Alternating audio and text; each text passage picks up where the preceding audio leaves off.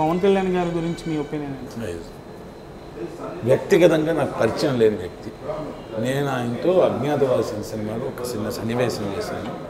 అప్పుడు రెండు మాటలు మాట్లాడుంటాను సార్ ఫ్యాన్ చేసుకుంటే వినయంగా సైలెంట్గా ఉన్నారు. ఆయనలో నాకు బాగా నచ్చింది రెండు. ఒకటేంటంటే ఆయన. అలా నుంచుంటే ఓ మ్యాగ్నెట్ లాగా ఆయన ఇలా చూసుకుంటా ఉండొచ్చు. ఇంకోటి వెరీ గుడ్ మ్యాన్ అని తెలుసు. చాలా మంచి గొప్ప వ్యక్తి అని తెలుసు. ఆయనతో కూడా నటించాల్సిన అవకాశం రావాలి. సో ఆయన పార్టీ పెట్- పెట్టారు కదా జనసేన పార్టీ. సో ఆయన ఆలోచన విధానం మీద మీ ఒపీనియన్ అంత నాకు జ్ఞానం లేదు. ఆయన ఆలోచన విధానం ఆయన ఫిలాసఫీ పొలిటికల్ ఐడియాలజీ నాకు తెలియదు అంత.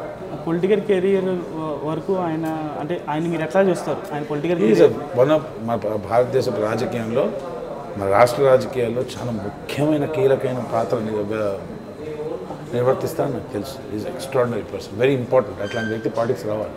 ఓకే. సో మీకు అవకాశం వస్తే పార్టీలో జాయిన్ అయ్యే ఆ- ఉద్దేశం ఆ పార్టీ? కాదు నేను పొలిటికలీ నాకు ఐ హ్యావ్ అన్ ఓరియంటేషన్ అంటే నేను పొలిటీషియన్ అవ్వను కానీ పాలిటిక్స్ ఒక రాష్ట్రానికి దేశానికి చాలా ముఖ్యం. అది లేకపోతే మనం రాజ్యాంగం గవర్నెన్స్ ఏది రాదు.